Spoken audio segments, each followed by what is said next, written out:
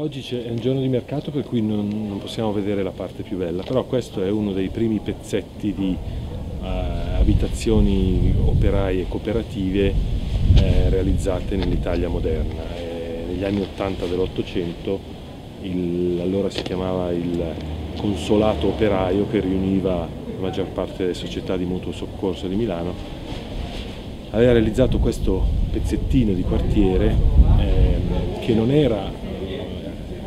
edilizia diciamo, filantropica fatta da società per il eh, soccorso, l'aiuto dei poveri, ma era un esempio di auto-organizzazione eh, operaia. Quindi questa aria che ha ancora oggi, che è passato molto tempo, è diventata una zona ricca così, però ha quest'aria un po' festiva, un po' domenicale, che penso che sarebbe piaciuta molto a Colin Ward e alla sua idea di una uh, abitare un po' dell'Arcadia quotidiana, cioè di una certa eh, lietezza e eh, atmosfera calda prodotta da un'attività comunitaria che, che, trasforma i luoghi e, e, e crea l'habitat umano. Ehm, perché abbiamo fatto questo libro uh, di antologia di scritti di architettura e di urbanistica di Colin Ward? Eh, una prima ragione è senz'altro il fatto che la, le discipline dell'architettura e dell'urbanistica eh, non dialogano da tanto tempo con, uh, con i cittadini, con uh, le persone comuni, eh, c'è questa incomunicabilità fortissima e fra le poche figure che nel Novecento è stato capace di di intrecciare questi due mondi separati, vedere l'architettura dal punto di vista eh, della vita quotidiana e contemporaneamente vederla con un occhio, un occhio, però competente e non generico, è proprio Colin Ward. Eh, questo anche forse perché eh, lui stesso non era un architetto, era un autodidatta che ha attraversato eh, il campo dell'architettura e dell'osservazione della città eh, in molti modi diversi a partire da eh, lavori pratici, ha lavorato da giovanissimo, abbandonando la scuola a 15 anni e si è trovato a lavorare come disegnatore in studi di architettura durante,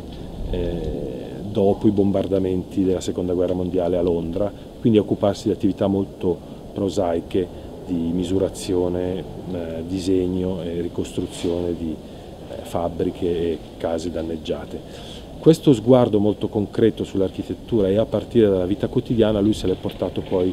eh, avanti per tutta la, la vita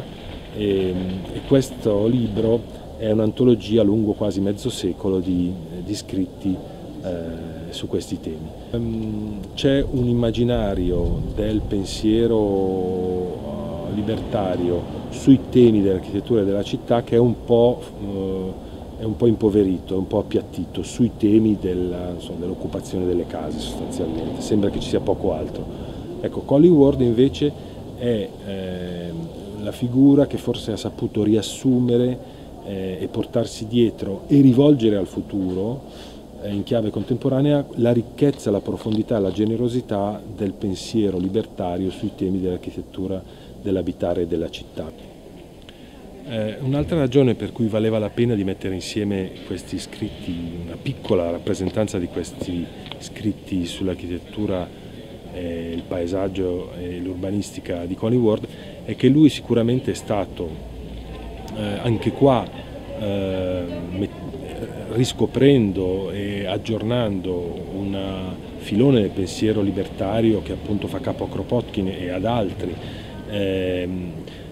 ha, messo, ha saputo mettere al centro uh, i te e intrecciare con quelli dell'architettura della città i temi dell'ambiente, eh, del paesaggio eh, e dell'ecologia, eh, vedendo tutto questo come un tema unico eh, già negli anni 50 e 60 quando questo per esempio all'interno delle discipline specifiche dell'architettura era,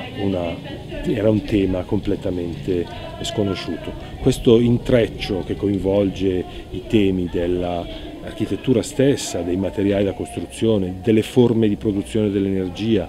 dei consumi è una critica dei consumi che sono al centro del modello di sviluppo della, eh, della società contemporanea, eh, viene intrecciato con i temi eh,